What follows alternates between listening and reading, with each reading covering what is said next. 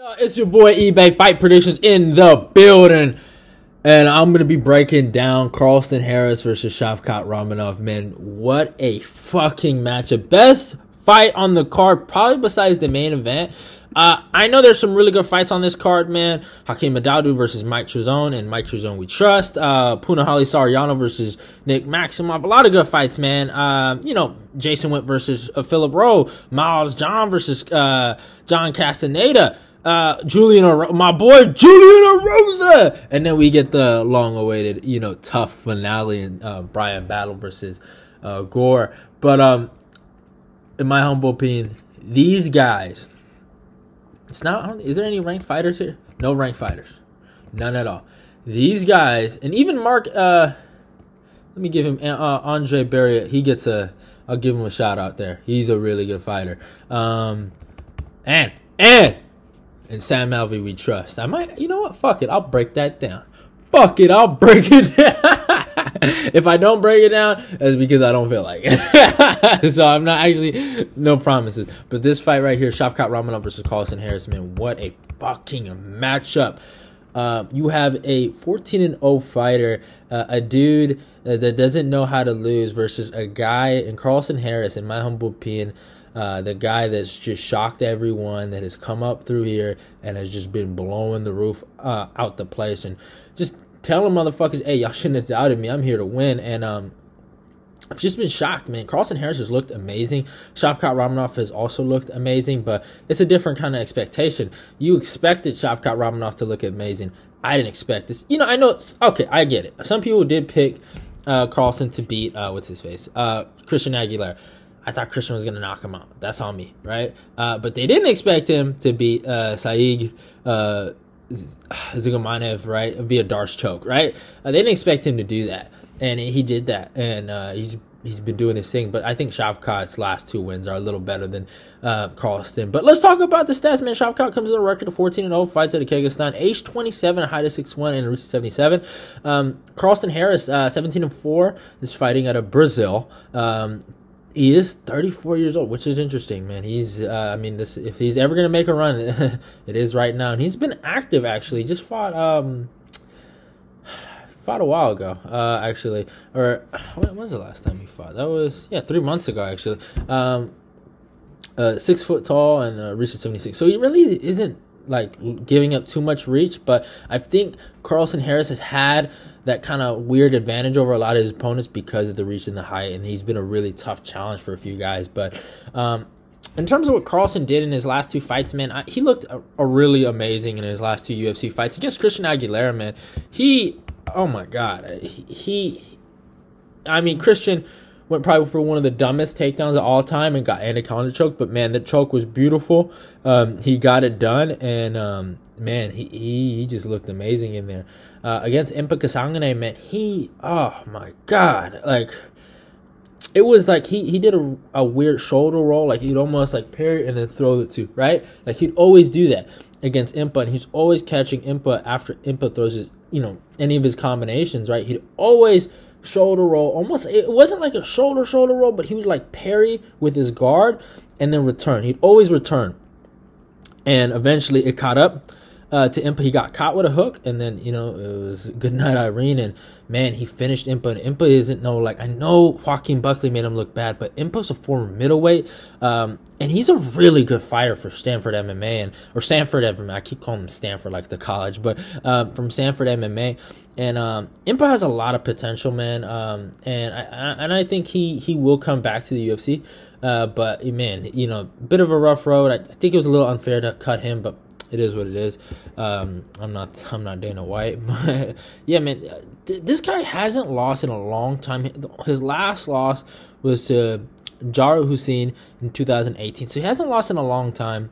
Uh, he's on a one, two, three, four, five, six, seven. Wait, wait, wait.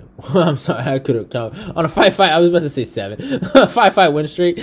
So he's on a pretty good streak, and uh, and they're all finishes, all finishes, and um, he he's on some really good momentum right now. But uh, he's fighting a guy named Shavkat Ramonov, and uh, this dude is uh, legit, man. This dude is, oh man, um, has just transferred to Sanford MMA, which is awesome. I love that. You know, y'all know me. I'm probably besides um, there's a lot of places I like, but besides AKA number one, obviously, I think Sanford MMA is, or you know, whatever you want to call them, Blackzilians or fucking uh, Hard Knocks. You know, I, I know, I know everything about th- those guys. I know, I know since the test of time, but um, I, I like them because uh, I feel like they. Uh, I I love Henry uh, Hooft's Dutch kickboxing style. And I just, I, the wrestling coach Greg Jones, I just love how they mix things together. I do think if you're gonna go there, because they people have been saying they're glass cannons, and I don't think that's true. The way they fight, you have to be durable to fight that way because they're going forward. You know this, and then right the knee, knee. You know, like, you know, go watch. Like all of them have their hands up, right? Uh, it's just you just watch, watch those guys, and you see it, and they're always going forward, forward pressure you know, you put so much pressure on something, it's gonna something's gonna come back. You open the door, something's gonna come out, right? So it's like you put that kind of pressure, you're gonna get some heat back, and you have to be durable. That's why a guy like Vicente Luque has done great with that style. A guy like Rumble Johnson, until recently, until his Bellator debut, has all has never been hurt. Has done great with that style. Uh, there's a lot of dudes that you know fought really well with that style of you know that Dutch kickboxing style. Oh, even Kamaru Usman, I felt like Kamaru Usman was at his best.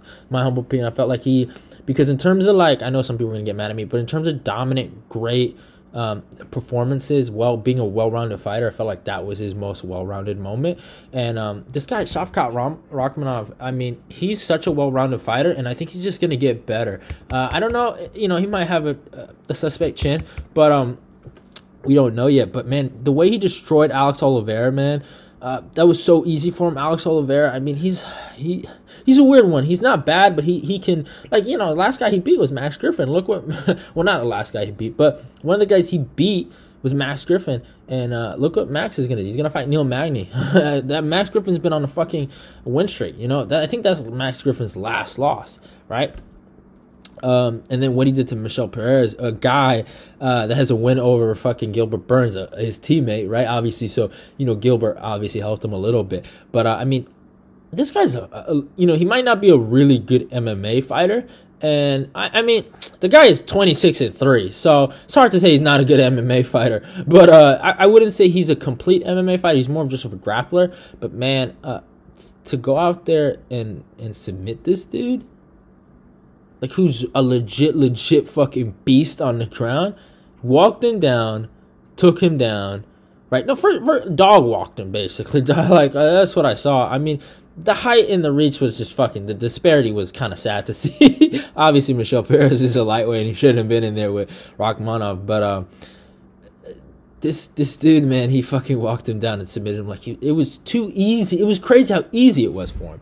And then his last win, uh, or not his last one, uh, another really good win he has under his belt is Jun Yong Park, a guy, in my humble opinion, is really really good at middleweight and had uh, probably one of the rounds of the year against Gregory Rodrigues and almost took out Gregory. You know, so um, really really good win, man. Um, there are a few things that I think kind of go against Shavkat Rakhmonov here. I mean, um both guys he fought were lightweights, former lightweights. You know, Alex Oliveira, former lightweight. Michel Prazeres, former lightweight. This is probably the first time he's going to fight someone who's a legit, legit, uh, you know, can't make 155 welterweight, right? Carlson Harris is real size, and I mean,